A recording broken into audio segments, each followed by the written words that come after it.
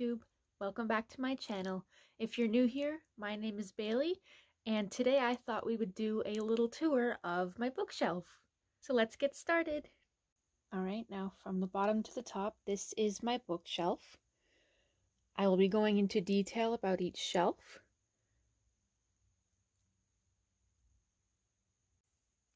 Alright, this first shelf, this top shelf, has all of my knickknacks on it. So I have this Beast from Beauty and the Beast Disney doll that I got from my partner. Underneath that, I have a candle holder. And I have this little kiwi bird from New Zealand that I got from my friend. This box here has a bunch of letters handwritten by my partner. And then I have a little Butters doll. I was very into South Park in high school. Now right here I have a collectible Chucky doll from the Rugrats. And he is in a very special edition Reptar shirt. He's so cute. Behind here there was a photograph, but I took it down for privacy sake. And then I have this special Damien from South Park doll. He's meant to be inspired by Damien from the movie The Omen. And behind him there is a hell demon because he is the son of Satan. So over here I have more South Park dolls that I got from a vending machine. And then behind here I have a sarcophagus jewelry box that was made by my partner's father for Christmas. And at the very top, I have just a little bunny stuffed animal. Isn't it cute? So now we can move on to my first bookshelf, which contains all of my classics. I will start with the knickknacks. This is a little giraffe ring holder that I got from my friend, and it holds most of my rings. I still have a few in a different one on my dresser. And then these are a little bunny family. They are called Calico Critters. They're just cute little bunny toys. It's a whole family and they're so cute. And then this giraffe wooden figurine I got from Disney World in Florida. And it was hand carved there. It's very lovely. Got that in 2011 when we went when I was in high school. So this shelf is my classics shelf. Now it means classics in two different ways. Over here is Greek and Roman classics, and over here are old European classics. So on this side of the shelf, we have a few um, different classics. So I'll start at the top here. I got this book from my mother. It is a general fiction about um, Troy. And then I have The Penelopiad by Margaret Atwood, Lavinia by Ursula K. Le Guin, Circe by Madeline Miller. I have this gorgeous adaptation of the Odyssey in comic form. And then I have the Fagles, Robert Fagles translations of the Iliad and the Odyssey by Homer. I needed those for university. The Silence of the Girls by Pat Barker is an excellent depiction of a few characters' point of view in the um, Homeric epic. The Song of Achilles by Madeline Miller was the first one in this genre that I became hooked on, but it was a wonderful place to start if you are into this sort of subject, like Greek myth.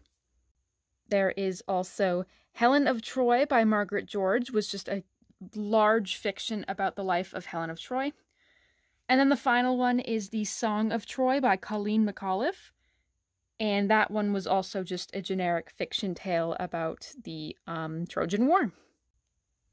I moved my rabbits so you could see the middle of my shelf, which is mostly dedicated to actual Greek and Roman literature or um, nonfiction. So I have Aeschylus's Oresteia, which is a book of three plays about Agamemnon, Clytemnestra, and the House of Atreus.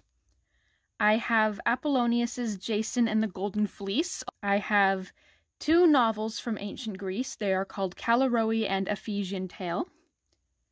I have If Not Winter, which is a beautiful edition of the works of Sappho. There is the original Greek translation on the left and the English translation on the right. I have the Aeneid by Virgil, which is a Roman tale of the Trojan War, translated by Robert Fitzgerald. And then I have books on Alexander the Great. I studied him in my first year of university, and I am so interested in learning about his life. So I have two novels of his. I have a general biography by Paul Cartledge, and I also have a book by my friend called The Treasures of Alexander the Great by Frank L. Holt about how Alexander the Great was one of the richest men in history and how he used his money. And then I have another fiction here about the life of the prophetess Cassandra. And then this side of my shelf is dedicated to all of the classics in the modern day sense of the word. So I have this beautiful edition of Bram Stoker's Dracula. Obviously, I have multiple copies. I have a tale of stories and poetry from Edgar Allan Poe. I have Pride and Prejudice, Sense and Sensibility, Persuasion, and Northanger Abbey by Jane Austen. I have Wuthering Heights by Emily Bronte. I have Daphne du Maurier's Rebecca, which is one of my favorite thrillers of all time. I have Frankenstein by Mary Shelley, another edition of Dracula by Bram Stoker, I have The Picture of Dorian Gray by Oscar Wilde. I have this really cool edition of Phantom of the Opera by Gaston Leroux. I have Jane Eyre by Charlotte Bronte. And I have The Strange Case of Dr. Jekyll and Mr. Hyde by Robert Louis Stevenson. So this is the final look at my classic shelf. I hope to add more to this one very, very soon. And then let's move on to the next shelf. Now, this shelf is my pride and joy, constantly growing. I am so excited to show this shelf to you. This is my vampire shelf, and I have so many goodies here to show you, so let's get started. These are my adorable action figures of Bela Lugosi's Dracula and Count Orlok from Nosferatu, the 1920s film. They are so cute. Their fabric is so soft. I love all the little details of them. So they sit as little buddies on my shelf. I also have these two candles from Bath and Body Works. I have a little vampire guy and a little bat canister, and they both hold the same scent, obviously, vampire blood. It's one of the best scents there. And then a very important piece of my shelf are these two autographed coasters by Anne Rice herself. I actually got these gifted to me by my partner's mother, and I am very grateful that she gave these to me. I treasure them very deeply because I don't think I will ever meet Anne Rice in my lifetime or hers.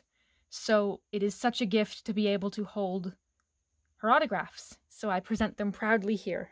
Now, this shelf is a little bit more simpler to explain. It's all my vampire books. So this side of the shelf contains most of my Anne Rice books. So we have the first three books in the Vampire Chronicles in this large edition. And then we have oh, Interview with the Vampire, The Vampire Lestat, Queen of the Damned, The Tale of the Body Thief, Memnoch the Devil, The Vampire Armand, Merrick, Blood and Gold, Blackwood Farm, Pandora, and Vittorio the Vampire. So these are all my paperbacks of the Vampire Chronicles. I then finished the series in hardbacks. So I have Blood Canticle, Prince Lestat, right there, Prince Lestat and the Realms of Atlantis, yikes, and the newest one that came out just two years ago, Blood Communion. Now, this mini aspect of the shelf holds a collection of vampire stories, as well as short tales, which are The Vampire by John Polidori and Carmilla by J. Sheridan Le Fanu. Now, this side of the shelf holds my other vampire books. I have read more vampire books than this, but these are the ones that I've decided to keep for now. So, from the top, I have a 1970s edition of Dracula. I have Fever Dream by George R. R. Martin, another 1970s story of Dracula called Dracula Began by Gail Kimberly. I have Anno Dracula by Kim Newman, Dracula the Undead by Dacre Stoker and Ian Holt. I'll get to you later. Another collection of short stories, one called Dracula's Brood, edited by Richard Dalby, and The Mammoth Book of Dracula, edited by Stephen Jones. Obviously, these have something to do with Dracula. These ones are explicitly about Dracula, while these ones were written before or after Dracula. I then have my favorite vampire book of all time, The Delicate Dependency by Michael Talbot. And then we go down to these ones. Here I have Times Convert by Deborah Harkness. I accidentally read this book first instead of reading the entire trilogy that comes previous. Holly Black's The Coldest Girl in Cold Town. I'll get to you later. The Historian by Elizabeth Kostova. A beautiful graphic novel edition of Dracula, the same company who made the Odyssey adaptation. And then I have the comic of Claudia's story of Interview with the Vampire. The final shot of my vampire shelf. I love it so much. I love it. Look at it. It's so pretty settled on the ground now to show you my third shelf. This shelf is very miscellaneous. It is the tallest shelf, so I wanted to put a few knickknacks on it. So we'll start with those. This is a coaster I got from a spooky coffee shop in Curtis, Ontario. It is of Vincent Price and Kermit the Frog being little vampire boys. I then have a cosplayer's mannequin head which has a few pairs of costume glasses on it. These are Chucky's glasses from the Rugrats, and these are some wire rimmed glasses that were used for, you know, nothing. So, starting from the left here, I have a few graphic novels. I have George R. R. Martin's The Hedge Knight. I have this book bestowed to me by one of my cousins called The True History of the Children's Crusade. I have the comic book editions of The Queen of the Damned that came out in the 90s. The rest of the shelf is dedicated to K pop albums. So I have Eau de VIXX, Chained Up, The Clan Part 2, Guilty. I have The Code, Decode, The Connect, Deja Vu, Take One, Are You There, Follow, and The Clan 2.5, the final chapter, version Beautiful. I forgot to show you a few more of my adorable knickknacks. So this is a piggy bank of the Rugrats. They do move and play the theme song, but I will not play it due to copyright reasons. But there's Spike and Tommy and Chucky, and they're so cute. And then I have the wrapper of a Reptar chocolate bar that I got from the States by my friend Sarah. It turned your tongue green. It was really, really fun and really tasty, but you can only get it in the States. So I'm so thankful that she brought one back to me. So here was my third shelf dedicated to miscellaneous objects and my K-pop albums. This bottom shelf is the most complicated shelf. It is two rows thick. It is full of series YA books, books that can't fit on the rest of my shelf, and other miscellaneous books. So let's get into this. So this book, A Child Called It and the Lost Boy by Dave Pelzer, is actually a secret photo holder. So I keep all of my photographs in here. I then have the hardcover editions of Violin, The Vampire Armand, and Pandora by Anne Rice. They were just too thick to fit onto my shelves.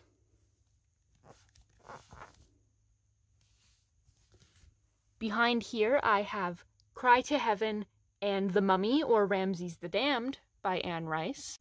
And then underneath, I have If We Were Villains by M.L. Rio and The Secret History by Donna Tartt, which are two of my favorite novels of all time. And now that the top ones are out of the way, I will be starting from front to back in my discussions. So, the first book on this shelf is The Dark Descent of Elizabeth Frankenstein by Kiersten White. This is one of my favorite books of all time. It is a retelling of Frankenstein from the perspective of Elizabeth Frankenstein, and it is so good. I then have the Night World series, books one and two by L.J. Smith. These have different supernatural tales in them. I then have one of my favorite YA series, The Summoning, The Awakening, and The Reckoning by Kelley Armstrong. She is a Canadian author and she makes some of the best um, urban fantasy. I then have the first book of her other YA series called The Gathering. I then have her series called Women of the Other World. So that includes Bitten, Stolen, Industrial Magic, Dime Store Magic, and Haunted. I do not have the next one that comes after it, but I do have one called No Humans Involved. So I will have to see which one I have to read next.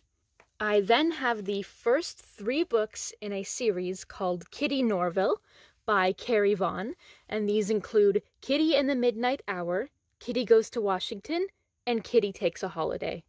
And then the final book on this part of the shelf is Caesar's Women by Colleen McAuliffe. I would have put that on my classics shelf, except that it is 900 and so pages and it can't fit because she is huge. Oh no, now I have to pull all these away so you can see what's behind. so, behind all of those books is my secret childhood obsession. I have the first 12 books in the Warrior Cats series by Erin Hunter. I have Into the Wild, Fire and Ice, Forest of Secrets, Ra- Rising Storm, A Dangerous Path, The Darkest Hour, and then I have the second series, The New Prophecy, which includes Midnight, Moonrise, Dawn, Starlight, Twilight, and Sunset.